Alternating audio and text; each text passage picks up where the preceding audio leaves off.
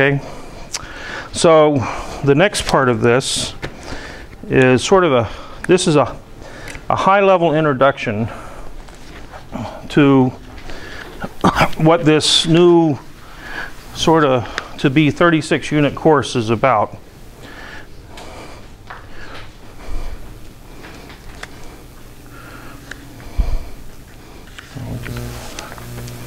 So these are actually, I actually had my secretary type up some of my notes, which will not be very useful for very long.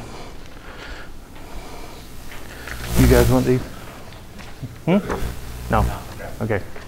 Um, these should be posted on the web eventually, uh, so far as that goes. But the purpose of the course now is not just welding and joining, which is the NAVSEA requirement.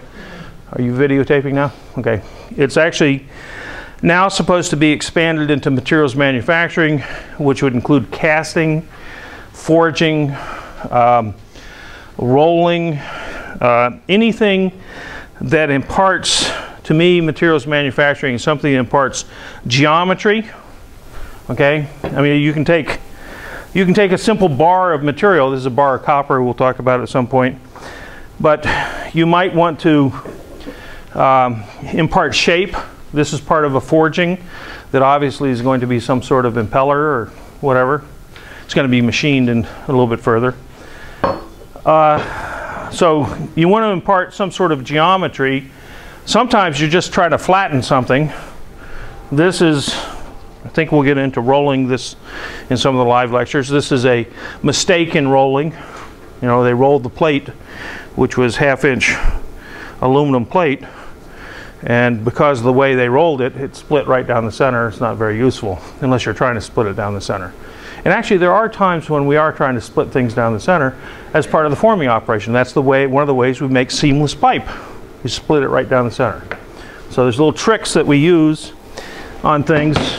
So you're trying to impart geometry, and then uh, you, that's going to give you some sort of function. In this case, I'm using function in the sense of uh,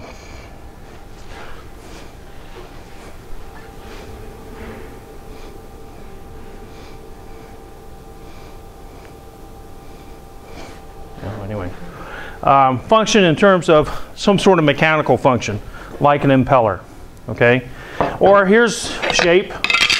Here's an I-beam. When I worked at Bethlehem Steel, this is what we did. We made bookends, right?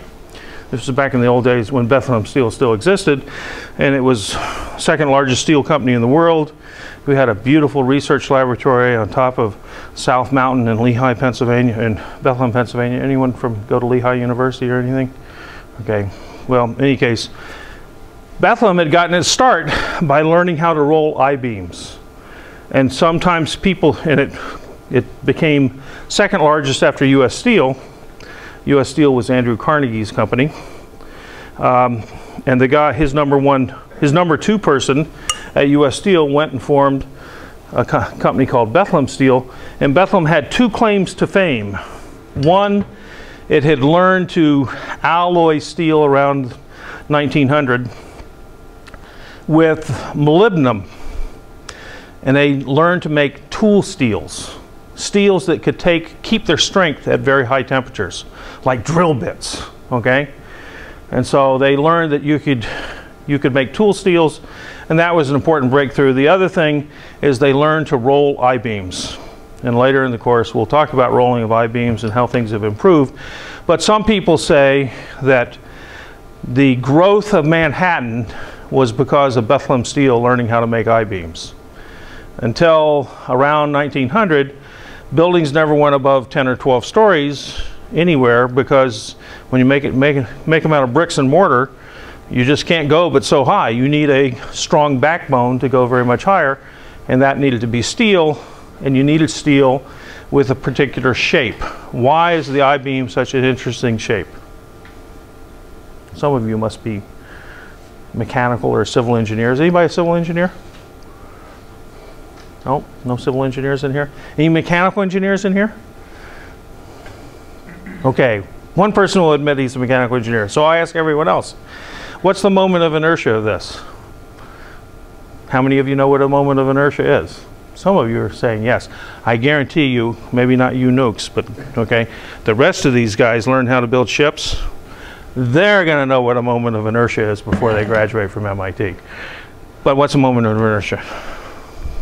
It's the rotational equivalent of the mass with respect to Right. um, acceleration. Yeah, it's, it basically is a measure of the stiffness in any direction is another way to think about it, okay? It's, the moment of inertia is the mass in any direction, but it turns out it's also proportional to the stiffness, how easy it is to bend it. So trying to bend an I-beam in this direction, you've taken a lot of your mass out of the center where you don't need it. You only need the mass at the ends, and that's what the flanges are all about. So if you put the mass on the ends where you need it, if you're going to bend the I-beam as a beam like the floor of a building, okay? However, in this direction, it's not quite as useful, okay? In twisting, it's sort of lousy, okay? Uh, so there are lots of different moments of inertia for a given structure, and if you go through the civil engineer's handbook, they will give you the moments of inertia in different directions for different shape I-beams and channels and angle irons and things like that. And that's what a civil engineer, traditional old, old style civil engineer used to spend their life doing. You know, you could, they'd be not much more than a draftsman who knew how to read the steel construction manual and would design buildings and bridges worrying about moments of inertia and stiffness and try to get the um, greatest strength for the least weight, right? Because steel costs money. Well, so that's part of your function, the, the shape and the microstructure imparts um, function. This is part of a, this is a continuous casting, or a slice from it, that, anyone been on the Acela train between uh, Washington and Boston? No one's ever, you've been on Acela, okay.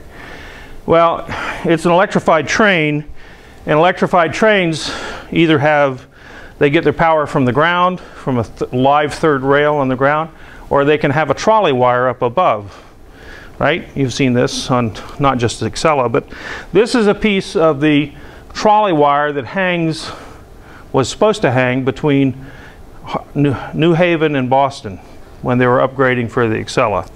So there's the shape of the trolley wire and basically it has the shape so you have some little pinchers that can hold the wire like this. Okay? But it was supposed to be made originally from a casting of very high purity copper silver alloy. This only has a tenth of a percent silver, so leave it for me. I can still use it. It doesn't have not worth much. Um, but it has a particular structure. You'll look at the grain structure here. This is just a longitudinal section. And so you have geometry, which is shape. You also have uh, a microstructure of the material that imparts part of the function or the strength of the material and things. And all of that has to be done at a reasonable cost. And we'll talk about reasonable cost. Um, actually, I'll hand it out later. Um, but I have a, hand, a handout that, that I wrote um, looking at structural materials and what do we mean by cost. Um, but just to give you a hint, anybody have an idea what uh, the cost of a pound, uh, uh, well, the cost of steel per ton? What's the current cost of steel per ton? Well, there's lots of different types of steels. First question you should ask me, what type of steel? Okay. Steel. Mild steel, okay, that's a good choice. Mild steel in just a simple bulk form like plate. Well, not, plate's not a good example, it has to have a reasonable quality.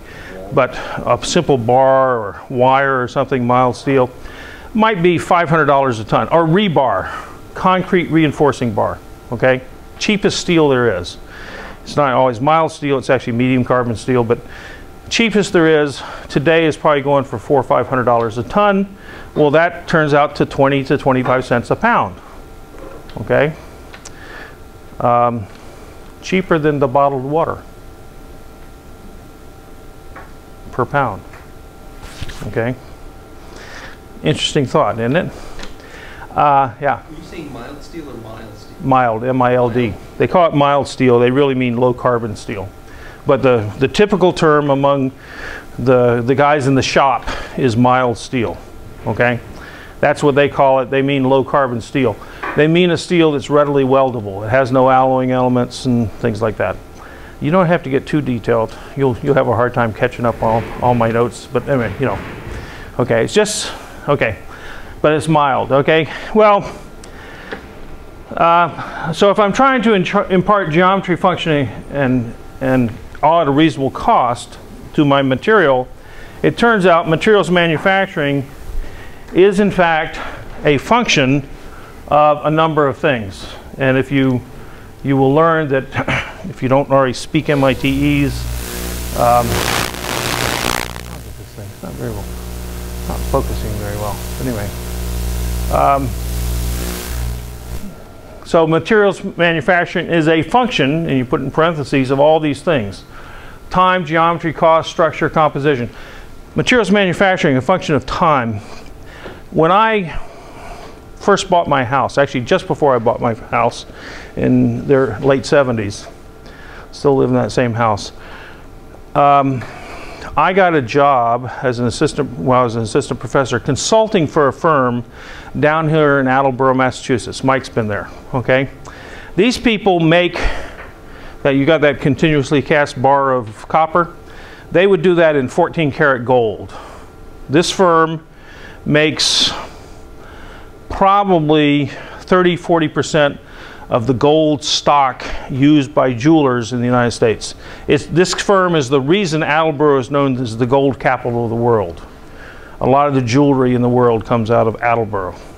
If you want to see something else of more complex geometry, they used to make the, the gold alloys that other people down there would turn into MIT class rings. That's a big, big version of a class MIT class ring, which is called a brass rat. Anyone ever seen a brass rat? I'm not wearing my brass rat right now, but but uh, uh, you all can, when you get ready to graduate, you can wear a brass rat. It's very distinctive. It's actually a gold beaver, but we call it a brass rat. And that is made by casting to impart a very complex geometry. Okay.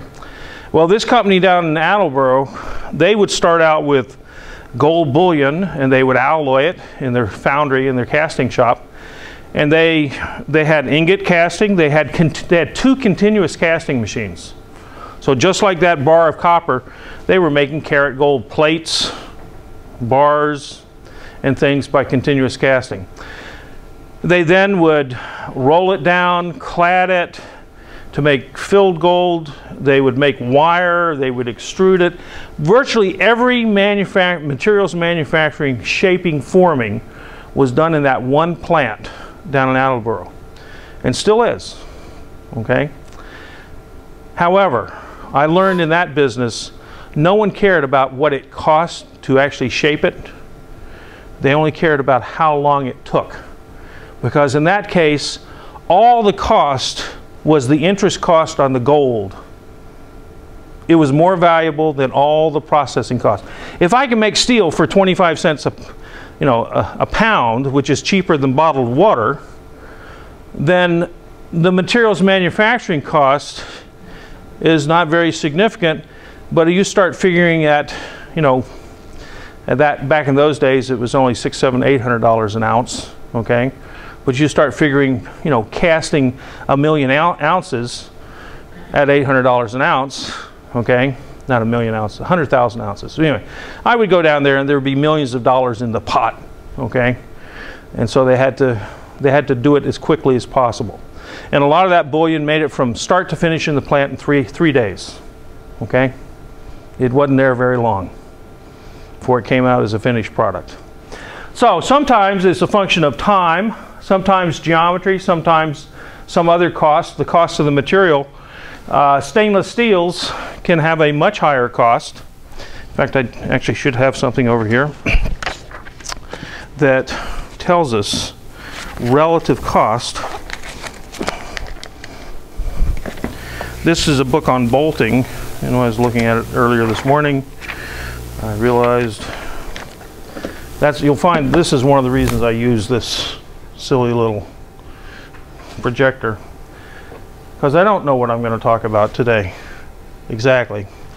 But this is approximate relative cost of fastener materials. So medium carbon steel, mild steel, if it has a relative cost of one, okay, stainless steels will be two and a half times that. Austenitic iron base, these are super duper steels, okay? Things like the Navy wants to build a stainless steel submarine, okay? 12 times the cost of mild steel. Now you have to understand that HY100 that they're building submarines out of right now has not a unit cost, it has maybe 1.5, 1.8 times mild steel, maybe even two times mild steel. But it's not 12 times mild steel. The new austenitic alloys for the non-magnetic submarine will be in this 12 times the cost. Okay? Nickel copper alloys, whatever ship you're on now, how many of you came out of the shipyard? Okay, a couple of you. They're using lots of Monel now, right? In copper nickel alloys, particularly in the piping. I mean, even if you're a board ship, you probably are a newer ship. It's not, it's not mild steel piping anymore. Steel piping was just going to corrode in 20 years, and the ship's supposed to have a 30-year life. Now ships are supposed to have 50-year lives, and so they've decided it's cost effective to make the piping out of something better that will last the life of the ship, rather than having to replace all the piping in the ship after 20 years. Uh, any of you on one of the old ships that had carbon steel piping that you were constantly repairing, right? And inspecting, okay? But it gives some of the enlisted men something to do, and the junior officers gives them a lot to do. Anyway, okay, titanium, 75 times. Okay, in the old day, I remember I was involved in some of the early titanium submarine stuff. Okay, my first research contract was on titanium, welding of heavy section titanium uh, for the Navy. Uh, austenitic nickel-based alloys, things like Inconels, your nuclear reactor materials and stuff, 100 times the cost. So we got two orders of magnitude difference in cost of metals. This is just for fasteners. It could be a little bit greater in other cases, but those are kind of the relative costs we're going to be dealing with. And so a significant thing that we're talking when we're talking about imparting ge um, geometry function and shape and function and our shape function and at reasonable cost time geometry cost structure you saw those grains in that copper I sent around. Composition, quality control. Typically, quality control can equal all your fabrication costs. Okay? Nowadays, because we get better and better techniques. It's just like medical um, diagnostics. Okay? Why, why is the cost of medical uh, or medicine going up? One of the reasons is that we have all these quality control things. They can do all kinds of diagnostic tests in the old days, they'd x-ray your arm. Now they'll give you an MRI at about 40 times the cost of an x-ray. Okay? Because it, an MRI tells the doctor more and protects his liability. Know, never mind. We won't get into that. Codes and standards many times are the limiting thing in materials manufacturing, particularly in the pressure vessel industry. The code puts severe limitations on any innovation that anyone wants to do. If you're in the nuclear business, it's very hard to come up with a better material for that reactor vessel. Okay? Because you need to do about a billion dollars worth of testing to qualify a new material. Okay? Um, the environment, health, resources, politics, I put religion down here too. And what I was thinking of at the time is Professor Hosler here uh, wrote what was basically her doctoral thesis on a book called The Signs, Sounds and Color of Power. I would have brought a copy, but I loaned it to somebody and they kept it on the no return plan. Okay? Um, but she wrote a book called The Sounds and Color of Power, where people in middle America, you know, 2,000, 3,000 years ago, used gold and copper and made little bells out of them, and it really got down to kind of religious, spiritual things. Okay, so people were, she had a, actually I think Mike took the seminar years ago when he was a freshman, where she had this we, she and I taught it together. I was the new department head, and she was a, a young faculty member. And uh, her thesis was that materials were developed through the ages because of um, religious symbolism and, and such things. And my thesis was most materials have been developed for military purposes. Okay? Military is kind of the leader in the technology. That was the, the conflict we put before the students. Okay? And really, it probably just depends on what age you're talking about or what culture you're talking about. But materials manufacturing relates to lots of different things. And so here is an article by Norm Augustine called Socioengineering. Norm Augustine used to be on the MIT Corporation, one of the few MIT, non-MIT grads ever to make it to the MIT Corporation. He was an engineer at Martin Marietta, wrote a book called Augustine's Laws, where he looked at trends. He's, he's a strategic thinker, basically. And um, anyway, he gave this as a commencement talk at University of Colorado in 1993. And he talks about the ages of engineering and how society has gone through lots of different things over time. And he says we're now in the age of socio-engineering, where a lot of the decisions are not made for technical reasons, they're made for socio-political economic reasons. Think of, you know, right now a number of communities are trying to outlaw bottled water, right? Because it's that wasted plastic at the end. It's not environmentally sound, right? Um, my lab is going undergoing a just had asbestos remediation. This room already had asbestos remediation, but most of MIT, the old MIT buildings here, the top, the ceiling tiles were asbestos, the floor tiles are asbestos. So we were surrounded by asbestos, and now they're coming in at costs of $100 a square foot to get rid of the asbestos, right? Or more. Yeah, it depends on. But if you clear out everything out of the room, and they, they came in, they did it in a week, okay? Working all the way through the night, so when other people wouldn't be around and things. So I want to talk now um, about, give you a case study and this is, we, we will get to some technical things a little bit later today. I want to talk about the history of nails. Okay? Nails have been around for thousands of years. The Romans forged nails by hand. Okay? And here are some forged and cut nails made by a little firm here in Mass still in Massachusetts, still doing it. Some of it's the old-fashioned way, but I bet you they have some machines. But the reason I want to tell you about nails is because it sort of gives you a history of where materials manufacturing has been and where it's come. It turns out, and I could show you a video if I was didn't have time to prepare a lecture. There's a book or a series of PBS articles basically on metallurgy. It's, they wrote a book on it. It's called Out of the Fiery Furnace. I think this goes back about 20 years. Uh, what is this? No, 25 years, 1986. Pennsylvania State University Press. Okay, the impact of metals on the history of mankind. Okay. Well, it turns out um, that there were some actually very interesting things going on in England in the 1500s. And let's see if I can well, actually, my notes will give me a better, a better version of this, or an easier one to read you some of the history. Okay.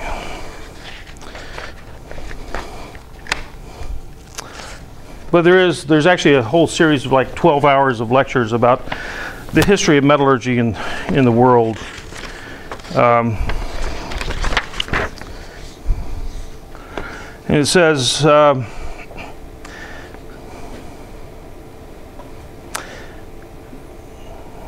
talking about the problem of trees and iron making. Iron making required charcoal back in the 1500s. Okay, they didn't they hadn't started using coal they would take trees and turn them into charcoal. Anybody know how you make charcoal from trees? Burn it in an oxygen poor environment. So you, you fell the trees, make a big, big, big pile that would be a bonfire. Then you pour, you put dirt over that, and then you just limit the amount of oxygen that can get in there. You start the fire in this chamber like a brick kiln almost, and you're limiting the amount of oxygen. So as the thing heats up in this oven, you're burning off all the volatiles, all the lignin and other things in that wood go off and you're left with charcoal, which is basically carbon. And it's the charcoal is relatively strong compared to the wood. It doesn't give off a bunch of smoke because you've smoked it out. Okay, you've gotten rid of it. And charcoal they had found was the way to make iron. Okay, and so they were cutting trees all over England because they had found, let's see, um, let's see, the earliest known water-powered blast furnace in Europe began operating in Italy in 1463. Okay. Before that, they would make cannons out of brass or bronze. But brass and bronze are about two or three times as expensive as steel. And so when they learned to melt cast iron in a blast furnace, they could make cheaper weapons. So I'm now proving my thesis over Professor Hosler's thesis that it was military technology. But in any case, um, from that time onwards, the new technology spread rapidly, especially, especially when it was found that cannons could be cast from iron instead of bronze, which was expensive. Okay, and the problem was, over the next 50, 60 years, the trees, the trees in England were being felled with greater and greater rapidity, and it turns out um, says the Weald of Kent, W-E-A-L-D, of Kent was densely forested with mature oaks, beech, and chestnut. Now, um, they stood on chalk, and on that chalk, beginning in Roman times, they had people had found rich pockets of iron. So they had iron ore, and they had trees for coal, and the chalk itself was the, the flux they needed for the melting. They had everything they needed. And so they started cutting trees, okay? Um, but then they had a problem because the great oaks were what they built the man of war with, okay? In fact, why is Old Ironside Old Ironsides called Old Ironsides? The Constitution. This is the oldest ship in your Navy, guys. Yeah. Well, reportedly cannonballs would bounce off. Right, but why was it stronger than the British ships, which were also made of oak? Different oak, very good. What was the oak, do you know? It was Carolina live oak, okay? And there is now a society to preserve the Carolina live oak because it's stronger than any other oak in the world, apparently, and that's how they can, uh, um, that's why old Ironsides survived and they said the cannons just bounced off because it was the strongest wood. Okay. Um, for the HMS Victory, for Alfred the Great, Nelson, uh, oh, Nelson's flagship took 2,000. Uh, well, she weighed 2,100 tons of oak. It took a whole forest to build Victory. Okay. So the two use, use, uses of oak, oak were in conflict, and now a third industry was glass making. And to make glass, you also need charcoal because you can't get all those impurities in the glass or you end up with a mess. And so it said, in 1558, a law was passed forbidding the felling of trees to make coal for the burning of iron, iron. But as with all politics, they excluded the forest of Kent and Sussex, where it really would do any good. Okay? So it's like saying you can, you're forbidden to grow corn anywhere but Iowa. You know, I mean, Huh? You can still do it. Good old politicians, even back then. Okay? And then they, uh, um, the price, in 1559, a writer complained the price of wood had risen from a penny to two shillings. I don't remember what the conversion is between pennies and shillings, but anyway, I think it's more than a factor of 10. I think it's 14 or 28 or something. Anyway, by 1581, the shortage of wood for shipbuilding was so serious that a further act was passed forbidding the felling of trees within 22 miles of the Thames River, within four miles of the Great Forest of the Weald, and within three miles of the coastline anywhere. By 1615, England was facing an energy crisis. So here was the first energy crisis. Probably wasn't the first energy crisis, but it was an energy crisis. Okay? A royal proclamation in that year lamented the disappearance of the kind of wood which is not only great and large in height and bulk, but hath also that toughness and heart, as it is not subject to rive or cleave, and therefore of excellent use for shipping. Okay? So again, military technology. Um, 1615. What, uh, what had happened? What colony had the Brits founded back in the days around 1615?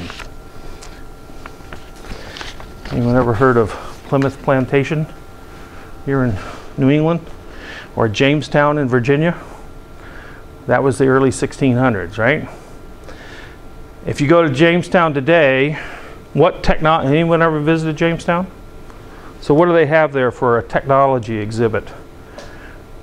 They, they do like blacksmithing. Yeah, but they also have a glass furnace shop. Jamestown had a glassmaking shop because they didn't have any trees in England anymore. We had lots of trees over here, and they could make charcoal over here. What did they have in New England? They had Saugus Iron Works. And so if you look at the beginnings of the foundry industry in, oh, it's not very good focus, I don't know. I have to find out what's wrong with the focus on this thing. Um, but the foundry industry in, it should be, oh, this is, uh, this is Jamestown. This is Chesapeake Bay. And here's Jamestown, and, and there are various things around here. We'll see on the next page. Um, no, forget it. That, I, I thought I was going to show you something on Saugus. But if you go up here to Saugus, Massachusetts, it was the first ironworks in the United States. Okay? And they have a blast furnace up there. At that time, it took approximately, I estimate, one person year per ton of iron. If you figure a person year back then was 3,000 hours, because they probably worked at least 60 hours a week, six 10 hour days. You know, they didn't work on the Sabbath, but they probably worked more than eight hours a day during the week. And what did they have to do? They had to chop down the trees, make charcoal, put it in a blast furnace, cast the pig iron. Why is it called pig iron? Because if you go up there to Saugus, and this would be a good place to take a little field trip, take your kids, your spouses. It's a national park now, right now, um, so it doesn't cost anything. Um, but you go up there, and they will show you how the bottom of the blast furnace, and we'll show you what a blast furnace looks like later. It's just a big column, but at the bottom you tap a hole, and the molten iron comes running out onto the sand floor. And as it runs, you actually, the guys had, would dig a trough in the sand. So when the water, not the water, the, the molten metal cast iron comes out, it would run down this trough into a, so here's a little trough, and it would come down into a manifold, and off the manifold would be other little troughs so the liquid comes down here, fills up this manifold, and fills up each one of these little things. And these were like the pigs on the sow. And this was called a sow bar. It weighed four or five hundred pounds. The pigs only weighed 100 or 200 pounds. But this was like the, the suckling pigs on the sow. And the sow bar might be what you turn into cannon. Okay? and you had to have lots of men just to even move that. And the pigs were what you would make things like nails out of. And to make nails, you basically hand forged them. Or you could roll them into sheet or things. You look at most of those nails, they're either hand forged, uh, thing I sent around, or they're cut from sheet. They didn't really have a lot of wire drawing technology back then. Okay? They had a little bit, but, but not much. And so as a result, nails were very expensive. They would burn down an old building and sift through the ashes to recover the nails to reuse them, to recycle them. Can you imagine doing that today? Why? Because nails are among the cheapest of our wire products right now. Today it takes one half hour or less per man to make a ton of steel. So we've seen a productivity increase, this materials manufacturing being a function of time, materials composition. Over the last 400 years, we've had a 6,000 fold increase. That's a 600,000% improvement in productivity to make steel. Not bad, huh? And we still see how those things change. In my lifetime, when I worked for Bethlehem Steel 35 years ago, half the cost of making steel was labor. Bethlehem Steel, second, second largest steel company in the world, 45% of their costs were materials, limestone, iron ore, coal. 45% was labor and 10% was profit. And today, it's 95% is materials, 10% is labor, and negative 5% is profit. Okay? Or whatever it is. Actually, it's changed a little bit in recent years because the Chinese have started using so much metal. But what happened is, well, one of the things that happened again in my lifetime, and we'll talk about this, is they went from ingot casting to continuous casting. And in the old ingot casting technology, one third of your steel you had to recycle. You had to cut off the tops of the ingots. Okay?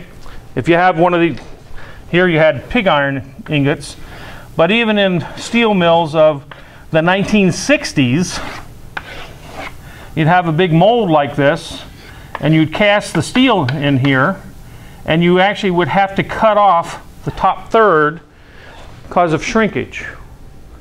And one of the numbers we always had to worry about at Bethlehem Steel was trying to improve the yield. The yield was at about 65% overall for the whole corporation, which meant for every 100 pounds of steel you poured, you only could ship 65 pounds.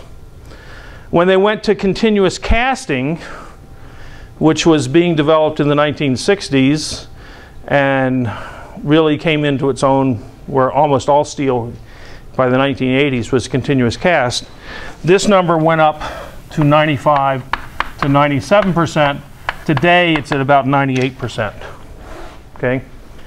Because with continuous casting, there's no top shrinkage. You just cut off the bar. I mean, of course, the bar could be a big bar. Okay, cut off the bar, and there's the shrinkage is only at the beginning and the end. And a good continuous cast nowadays starts and then doesn't stop for a week or maybe two. They cast continuously for one or two weeks. So there's not all this wasted material. Okay? So that was a dramatic increase in productivity. Another increase in productivity in the steel industry, and we'll talk about this later, maybe tomorrow. They went from open hearth furnaces, where to make three or four hundred tons of steel, it took you 24 hours to refine the steel, to burn all that carbon out of the cast iron and stuff.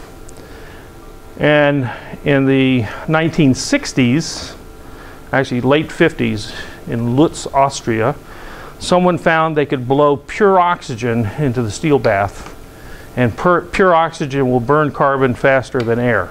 Anybody know that? Okay. But to do it in a 300 ton bath is a little more exciting okay? And so now they can burn the carbon out of iron not in 24 hours in an open hearth, but in a basic oxygen furnace they can do it in 20 minutes with a supersonic jet of oxygen. And so the vast majority of the uh, pure oxygen in the world is used to make steel. They just blow a supersonic jet about this big around of pure oxygen into the steel bath of 300 tons of steel. Really exciting. Anyone ever been to a steel plant and seen a BOF in operation? You want to see fireworks. It's really neat. Okay, why don't we take a, about a five or 10 minute break? Be back here by 7 or 8:40, okay? So everybody know where the restrooms are? You got a, this glass blower named Blaschka, okay? And Blaschka was making little colored replicas of sea urchins. I mean, people bring back these little sea animals. He'd look at them in the microscope or whatever, and he would do a, a model of this in blown glass. And someone said, Well, can you try to do a flower? And so he did, and he shipped it across the Atlantic, and it kind of came across and it was broken, but they could still tell there was a lot of promise to this. So some ri- rich, rich woman in the, I'm, stuttering more, I lost a tooth, okay, over here. I'm going to have an implant. But anyway, so anyway, some rich woman over here in the back bay um, gives a bunch of money to Harvard, and they brought Mr. Blaschka over from Prussia. And for the next 60 years, he and his son would take plants like a cashew plant from Brazil or India or wherever, and they would copy it in glass in full color. And they would also put it in the microscope and they'd show you whether it's a monocotyledon or a dicotyledon. And so this is sort of scientific exhibit, an art exhibit, and everything else all at once. One of the things they didn't do was all the material science to necessary to know whether the glasses were going to be stable over the next hundred years or whether they would decompose. So apparently only about 30% of them are still on display. But, and now, when I started out, they were free. The Peabody Museum was free. Then they started charging 25 cents to get in. And I think now it's up to like 10 bucks a head or something to get into the Peabody. Is it? Okay, fine. Okay, good. Uh, then you qualify. Um, but you only still only get to see about 30%. Now, the other interesting thing is in the 1930s, it turns out his son, after the original Blaschka had pa- passed away, apparently started getting interested in diseased fruit. So you can go in and you can see a, a pear on, on a branch and it's all shriveled with fungus and anyway, really neat. Anyway, so anyway, so that's the glass flowers. And we ought to, well, another thing is where is the blue silhouette of Ho Chi Minh? The what? The blue silhouette of Ho Chi Minh. So, at the time of the Vietnam War, in the late 60s, there was a art sculpture very prominent here in the Boston area, still can be seen. And the, the woman who painted this sculpture was named Corita. She was a former nun, Catholic nun, and she had left the novi- novitiate or whatever. And she did this piece of artwork, and she was a North Vietnamese sympathizer. And so in this artwork, there is a 40 foot tall blue silhouette of Ho Chi Minh. Now, unfortunately, the structure this was on was taken down, but there was another structure similar to it. And when they repainted it, it's still sort of there. But you have to know to look at it. But I remember when they tore the original one down, they had a picture, and well, actually, I'll tell you, I'll tell you where it is. I used to try to force the freshmen to go find out these things. As you come up the Southeast Distressway here in Boston, anybody have to commute up from Brockton or anything? Yeah, okay. Uh, Mike does. He lives down in Brockton. No one's down at South Weymouth, Weymouth Naval Air Station. The old, anyway.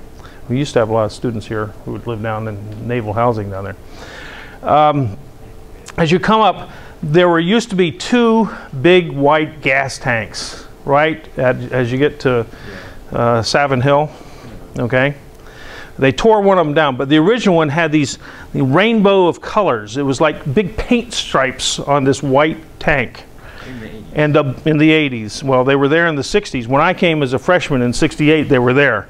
And Corita had the blue one prominent, 40 foot as you're coming up the Southeast Expressway.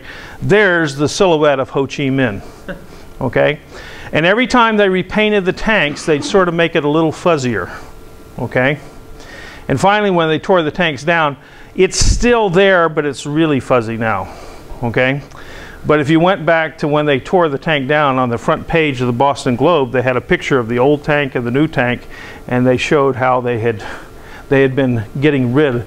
But the original silhouette was absolutely, I used to call it Ho Chi Minh on a stick, okay? Because it you know, had a long kind of tapering neck. It was just, it was part of a big stripe of, of uh, blue color. But the tank still, I mean, I assume it still does, I haven't been paid much attention to it, but they still have the artwork, Corita's artwork, which is a rainbow about five colored stripes, about 20 feet wide stripe, like some someone took a, you know, the Jolly Green Giant took a paintbrush and put a rainbow of colors on there. The blue one is Ho Chi Minh on the on the side, okay, not on the top, but it's very prominent. It was right at you. Um, the other thing I used to give the students was uh, um, where can you find Mrs. Hawthorne's poem that she scratched on the windowsill with her diamond ring, her wedding ring, a poem for her two year old daughter as she looked out the window um, after an ice storm. And her little daughter, she talks, the poem basically talks about the glass, her little daughter looking out the window and how the trees look like glass chandeliers. Okay? Mrs. Hawthorne was also quite a quite literary, just like her husband. I'll tell you that if you look out that window, you can almost see the Old North Bridge. You know, where the shot heard around the world was, right? You know, and all that stuff. So anyway, um, that does cost five bucks to get in that house. But anyway, uh, so there are some things to see in Boston. Okay. Uh, and actually, some of the best things are not in Boston. I don't care much for Plymouth Plantation anymore. I haven't been there for 30 years, so I guess it's not fair to say. Uh, but I just took uh, some of my, uh, one of my children and grandchildren out to Sturbridge Village uh, a couple of weeks ago, which is an hour west of Boston, which is a supposed to be like a 1790 to 1820 recreation of a New, New England village. And they've got a, a sawmill and a carding mill and a blacksmith shop. Actually, they like the blacksmith shop better than anything. A farm with animals. So anyway, there are some things to see in Boston, okay? And of course, there's always the Freedom Trail and stuff like that. Okay, so let's get back to, to things. Um, before I get into the technical stuff of, of fasteners, you, you're taping now? Okay. Um, those nails came from the Tremont Nail Company. And so if you, which was established in 1819, it's down here in Mansfield, Massachusetts.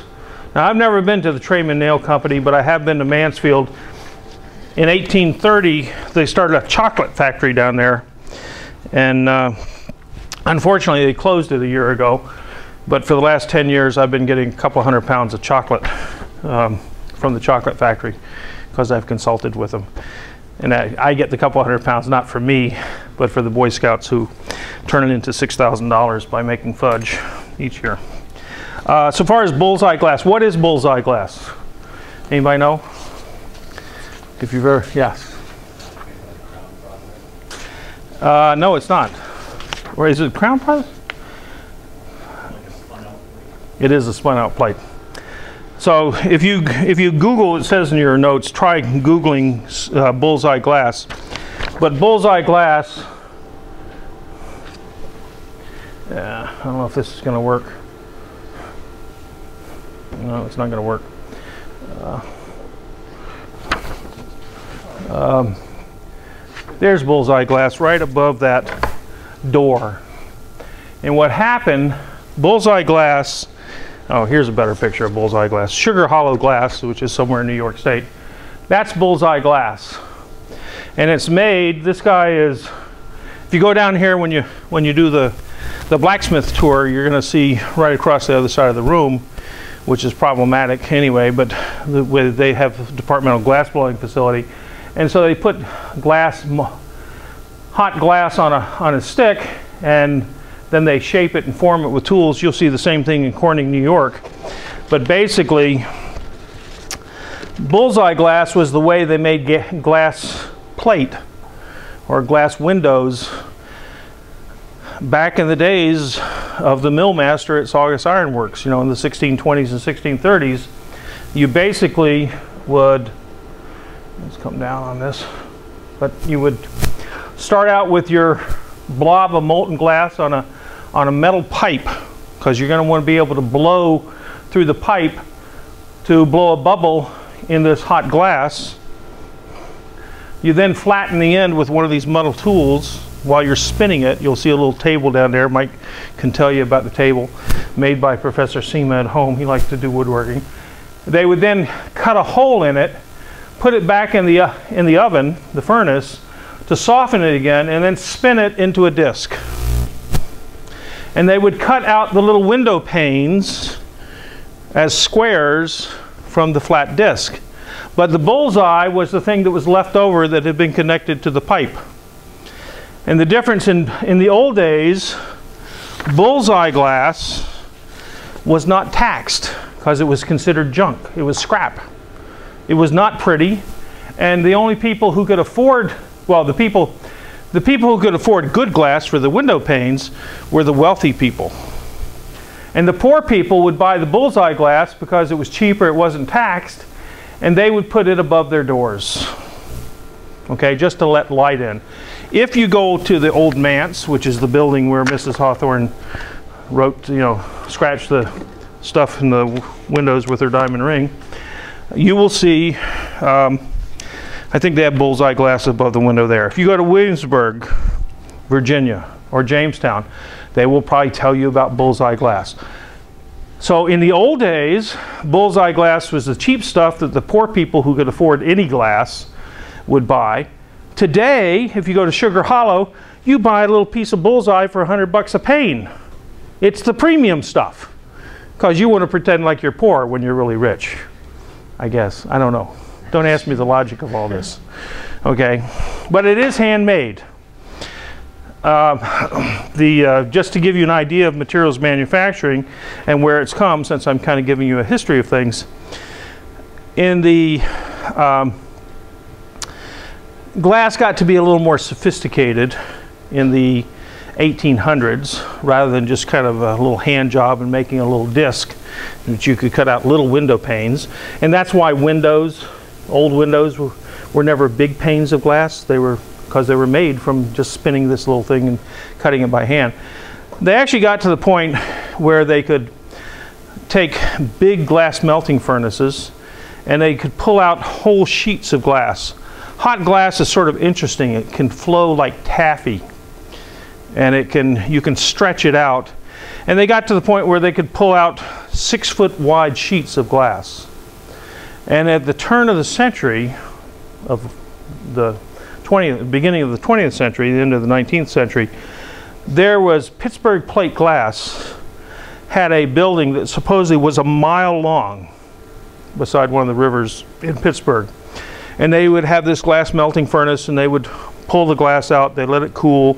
They'd have to put it through an annealing furnace because the glass will develop residual, stresses and can fracture very easily until you anneal it. And then the greatest length was because they then had to polish it because it wasn't very smooth. And if you go look at old buildings from the 1880s and 1890s, you can tell which were the original panes of glass because the original panes of glass have got all kinds of waves on them. In fact, I can go out here at MIT in my office, okay, and you can look and see which panes of glass might have been original in 1917 when these buildings were built, or 1916, because they're not as flat. Okay, but around I don't remember when, um, around the early part of the 20th century, the Pilkington company in England developed the Pilkington process for float glass.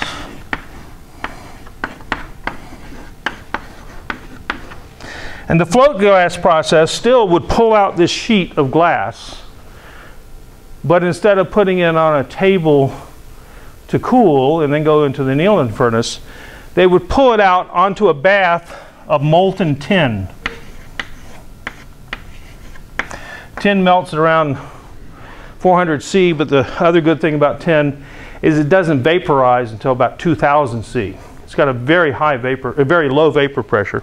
Anyway, they would pull it out and the glass would anneal on this molten tin and it would the top surface would just smooth out by gravity and the bottom surface would be smooth because it's on top of this bath of molten tin. That's the float glass process. Everything that's in your house today is made by the float glass process.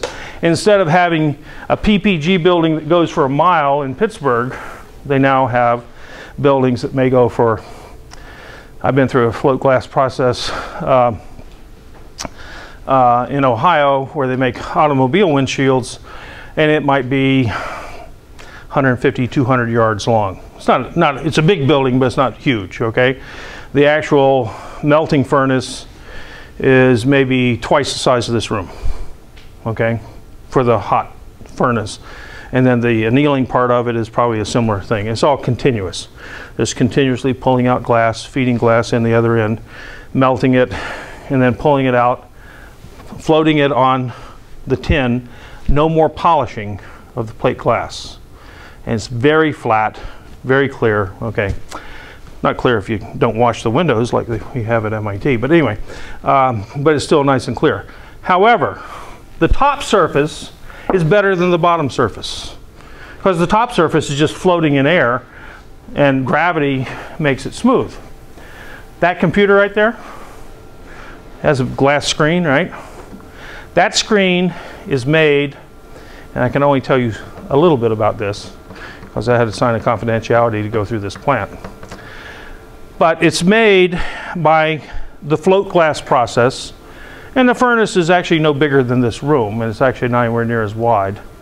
And they pull out strips of this glass from the melting furnace, and they put it through a little, and I don't remember how wide, in fact, I'm not sure I ever even saw without the cover on that, but it's not very wide to make whatever, whatever the narrow dimension of a TV screen is, okay?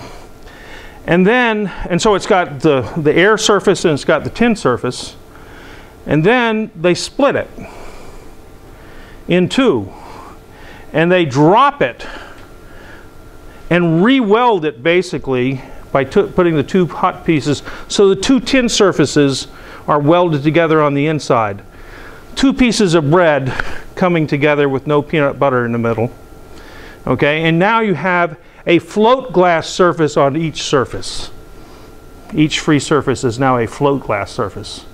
And that's how they make something very thin. And in fact, as it falls by gravity for several floors, I mean several stories, okay, this is in a tall building, it's falling by gravity through furnaces that control the temperature so it just slowly thins down and stretches out like silly putty and they end up with something that's only 15 or 20 thousandths thick, but has two air surfaces of float glass. Very profitable business. Okay, start with sand, end up with the computer, you know, the outside surface of a computer screen. But they really control that technology.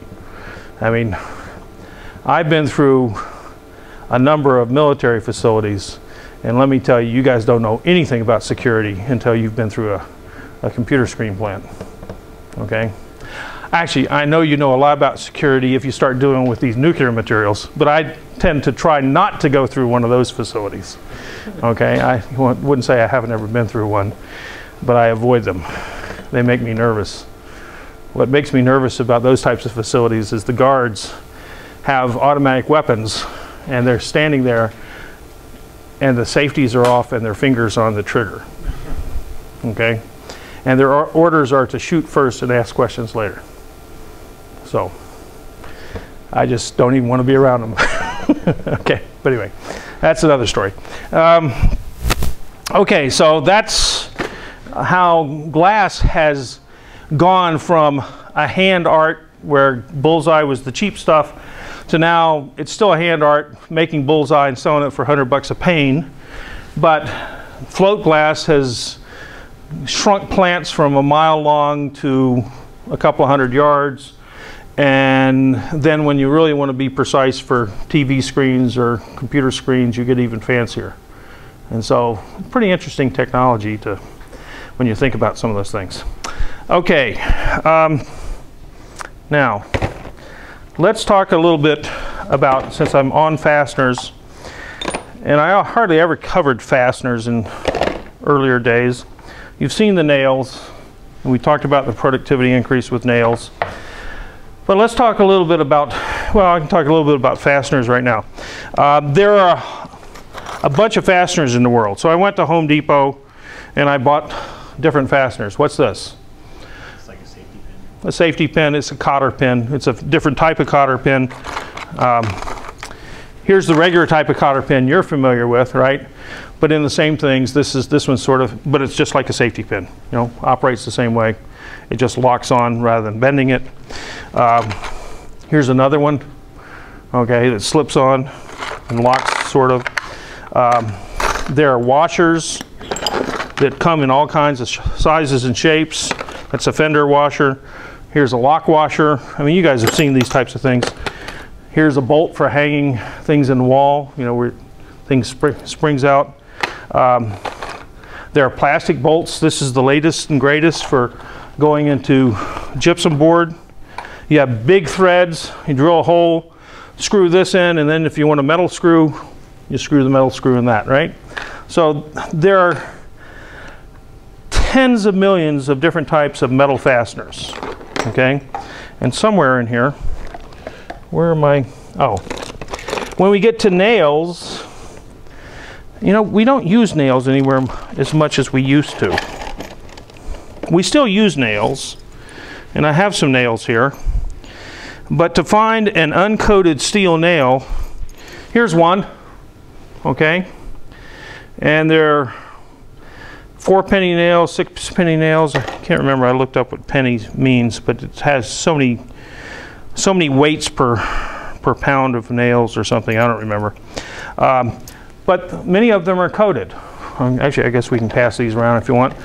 One, these are similar nails, but one of them's got a, a, a coating on it. Now, anyone ever used resin-coated nails? Yeah. Why do you use them? When you try them in, that heats up Yeah, it melts the resin from the friction. And you ever try to pull one out with a claw hammer? You'll, you'll break the wood before you get that nail out, okay? Now, when I used to do Cub Scouts when my sons were that age, um, one of the things in the, in the Wolf book is to have them drive a screw. And I remember the first time I had the scouts do, do that, none of them, unless I made the hole really bigger than it should have been, uh, could really drive that screw without stripping the threads, the heads. And of course, you know, you could, you could use a Phillips head, which is not a, you know, not as easy to strip as a, a flathead screw. But now we got Torx and things like that that make assembly easier.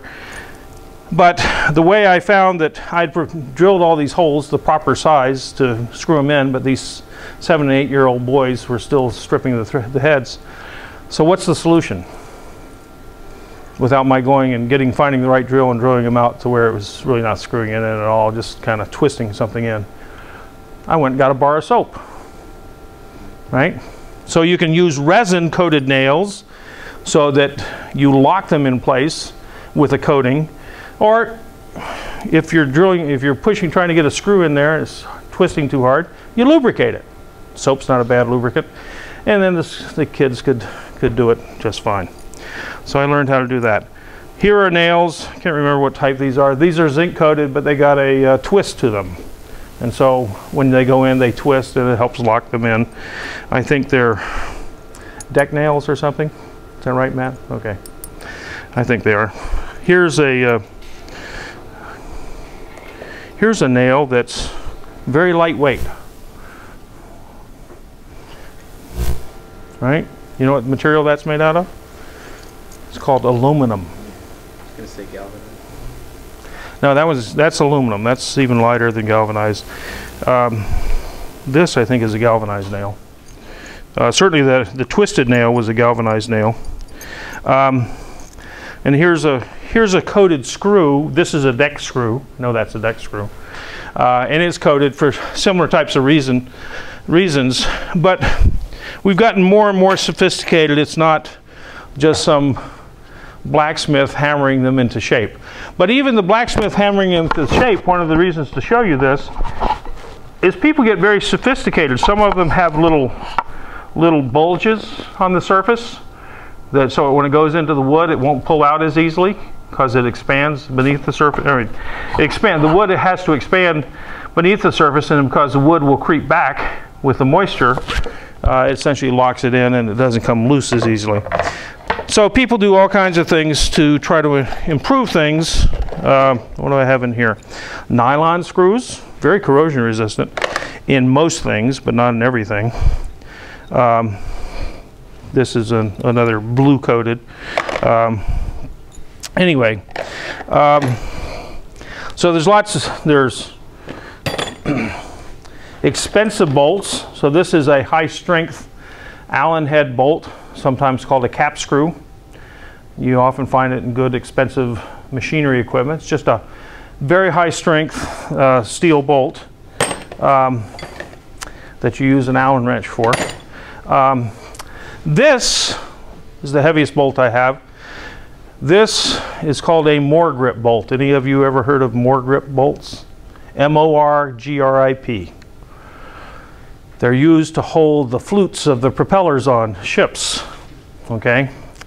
And it's a little different. It's got a hex head, and um, actually I didn't take this one off. This one may actually, it's got an Allen head in the center here, and I think that's because it actually has a hole right down the center. Anyone ever used a bolt that had a hole down the center? I know what the, the hole's for. What's it for? Uh, well, they use like an ultrasonic tool, which uh, as you uh, tighten it, you know, the bolt actually stretches. Right, the bolt stretches as you pull on it. And, Oh, there has to be a specific uh, amount of like space between the end of the hole right, and, and your actual tool. right, because most of the time, you know, the scouts just, they just torqued it until it got in, right? And it, the, the screw was done when it got into the wood. and as long as they're close to getting it all the way in, I gave them credit. Okay, but if you're building a, a nuclear reactor or something, you're probably got to make sure people torque the bolts. Or actually, if you're just working on a car, they ought to use a torque wrench, right, on the bolts. Because you can, uh, the worst, well, bolts have a problem if you under torque them or if you over torque them. Okay, what happens if you under torque them? They don't have as much clamp and they can come loose. What happens if you over torque them? They'll too much stress and they can fatigue and then they become really loose. They break, okay? So it turns out when you have a critical application, a really critical application, not some lousy little thing like a nuclear reactor, okay? But when you have something like an aircraft engine, okay? You actually measure bolt stretch rather than bolt torque. Because if you measure torque, it all depends on the friction on the bolt. And it depends on, the friction coefficient depends on whether it's lubricated or not lubricated on the threads. It also depends on how well the threads are cut. So we talk about the class of threads, class A, class B, and class C. And that has to be how clo closely the male threads meet the female threads. Okay? Class, or maybe not A, B, and C, it's 1, 2, and 3. And class 2 is a good bolt, like one of these. Class 3, I think, is the highest. Class 1 is garbage, okay? Um, but um, a very sophisticated bolt will actually have a shank that is a smaller diameter than threads so that you actually have solid metal all the way down. You don't thin it down where the threads are. Okay, because if you start doing a stress analysis on this, you'll get a more uniform stress if you actually have the shank a smaller diameter. Um, you also take this out, and you said, you're right, they often put a little ultrasonic thing in there and they can measure the stretch. They also sometimes just put a, a um, rod down there and they measure the length of the, of the hole. Okay, not on this one, but you're right. Yes. The application I uh, was experienced in was uh, when I was on the dive side with some Navy divers that were replacing some blades on the propeller hubs. So Right. they were that's the tool they were using. To if you're diving, it'd be a lot easier to use an ultrasonic tool than it would be to you get in there with a little micrometer trying to measure something in ten thousandths, right? You know, when you got your gloves on and stuff, ten thousandths isn't sort of a joke. Uh, try to measure. Anyway, this bolt, as I remember, came off an Israeli Corvette propeller. Okay, uh, and they were cracking. There's cracks right under the head here. Um, so when we were cleaning up the lab a couple weeks ago, I retrieved one. There, there. Did you retrieve the other one, Matt? Yeah. So it's up in his office now. I think I only ha- I may have thrown another one out, but anyway. So, um, but the actually the the propeller bolts are about as sophisticated a bolting operation as I've ever seen, using Morgrip bolts and stuff and measuring stretch. Now they also measure stretch on the connecting rods on on aircraft piston engines. So if you got a Lycoming engine or a, a Teledyne Continental engine, um, when they tighten up um, the connecting rod, the connecting rod goes with a bearing against the uh, crankshaft, and they have two bolts holding it on. Those bolts actually have ground top head and bottom end, and they're only about two and a half inches long. And you actually take a micrometer and you measure the bolt before, and it's ground to within 2.623 you know inches plus or minus one thousandths of an inch.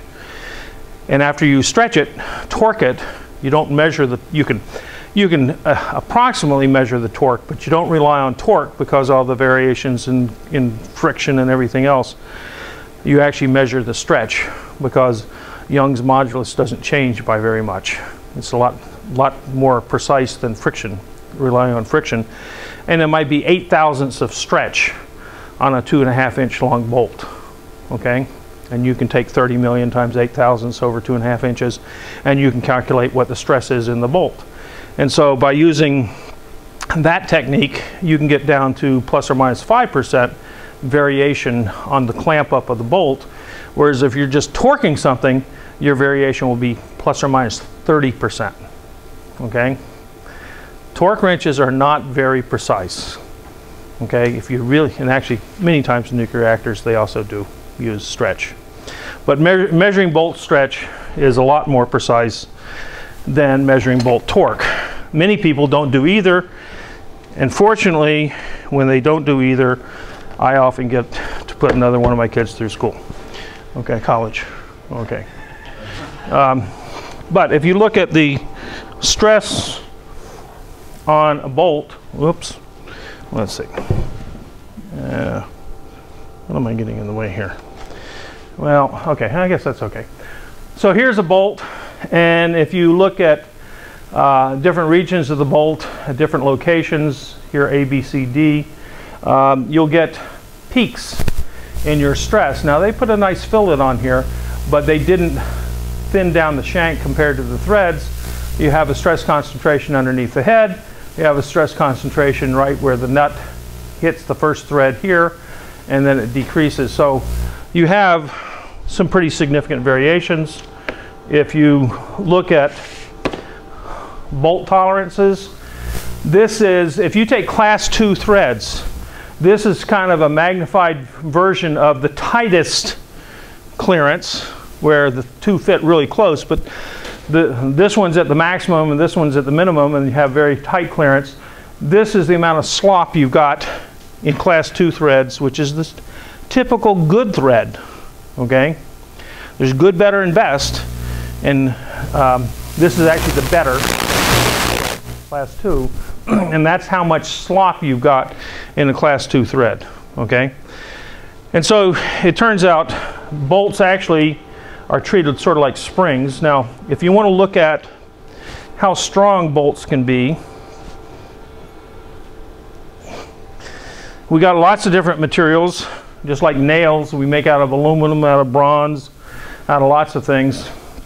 Um, ASTM A325 are the standard bolts uh, you put in I-beams if you're building a building. Now, why would you use bolts to build a building? It's a lot easier to slip a bolt in than to get up there and weld the thing. I can slip the bolt in with the cranes kind of putting the beam down or the column down. I can slip the bolt in, put the nut on, and things aren't going anywhere. I can then come back and tighten them up. That's a lot faster and can be actually better tolerance in erection than if you weld and you weld at the wrong angle or something and the thing's out of place and then you have to grind the weld off. So bolt, one of the advantages of bolting is it's, it can be fast in the field, faster in the field than in the shop. In the shop where you can fixture everything, sure, you'd rather weld everything together. But bolting has certain advantages. A325 is a typical high strength bolt. A490 is an ultra high strength bolt. The problem with these is that they're going to be, A490s are very susceptible to hydrogen embrittlement cracking. They have a very high ultimate strength, 165 KSI, about 100, 100,000 in shear, which is the way they're usually loaded. Uh, if you go to A286, that's the 12 times as expensive stainless steel as carbon steel. By the way, these are probably, this is not much different than carbon steel. This is an alloy steel, low alloy steel. Um, and you got some pretty high strengths in some of these fancy precipitation hardened stainless. The strongest material on here is MP35N. MP35N is approximately, well, I just happen to have a data sheet on it that I printed out this morning. Somewhere. Where's my data sheet? Uh,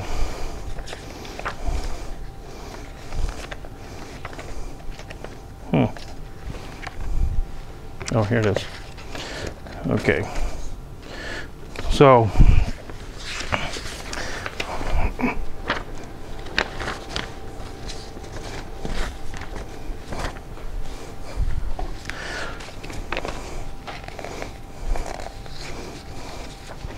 MP35N is one of the most fantastic materials I know.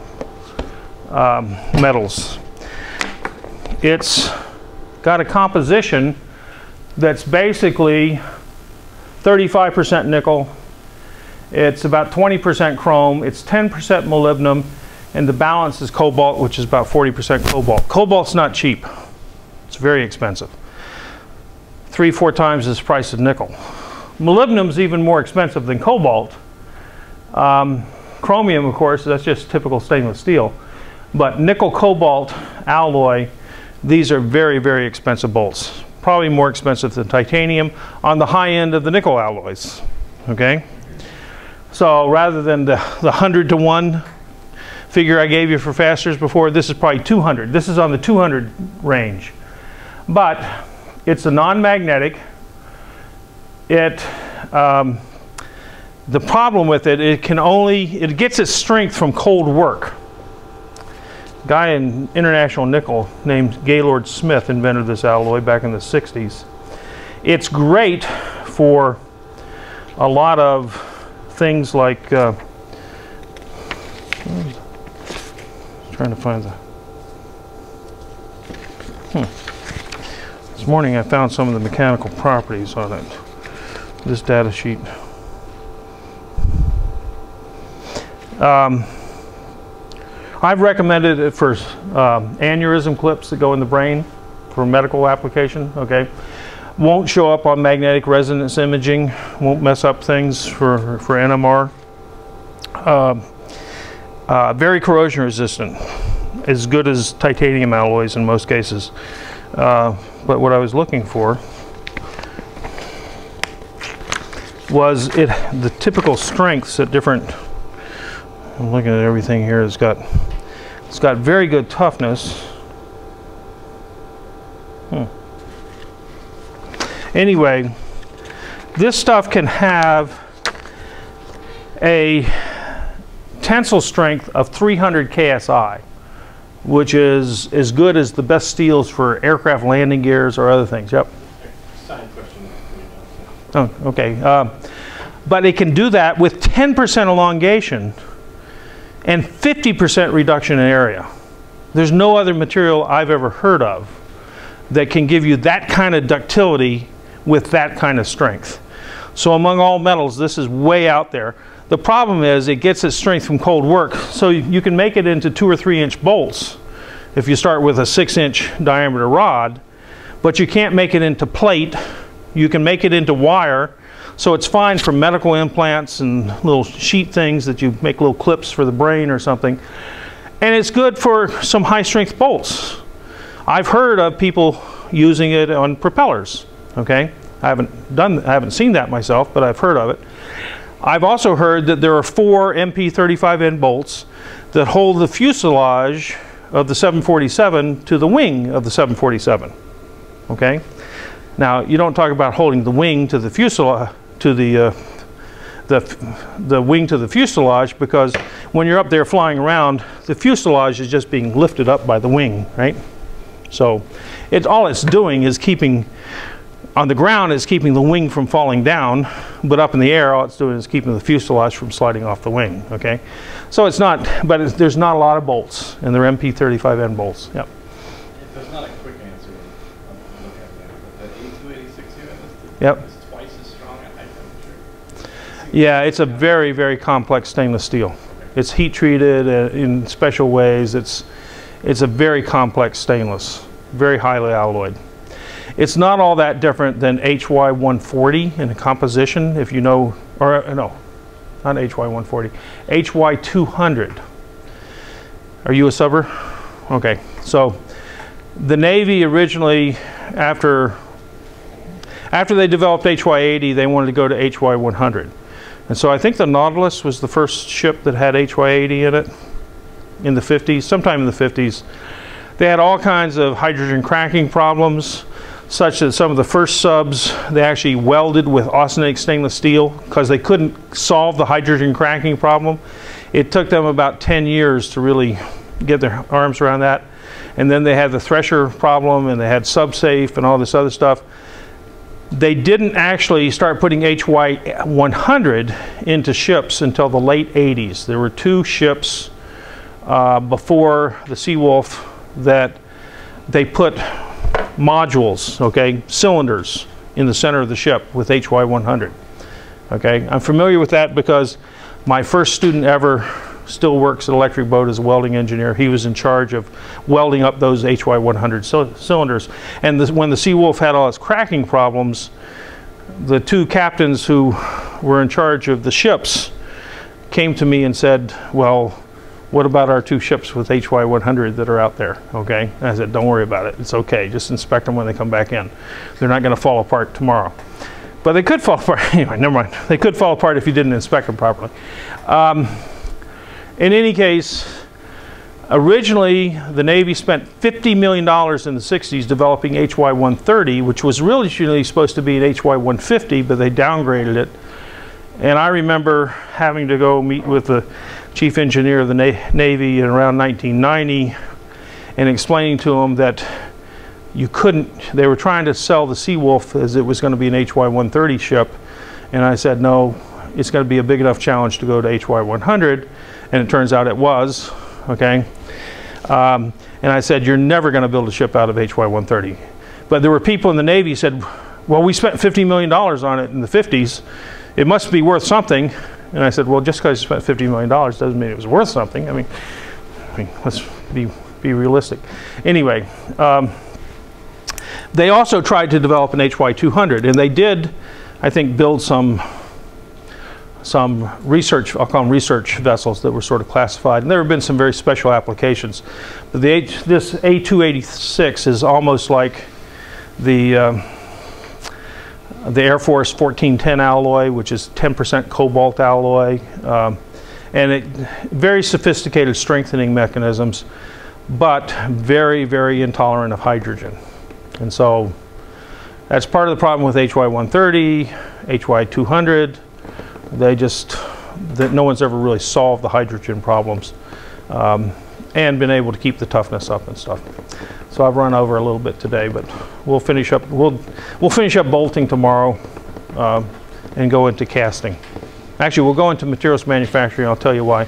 Nanotechnology does not work for structural materials. And then we'll get to casting. So you'd, you'd never see like a Buckminster Fullerene skyscraper? On the moon maybe. And I when you get to the material selection part of things I will explain why. Cost-wise there is a about five orders of magnitude, six orders of magnitude difference between the cost of a commercial ship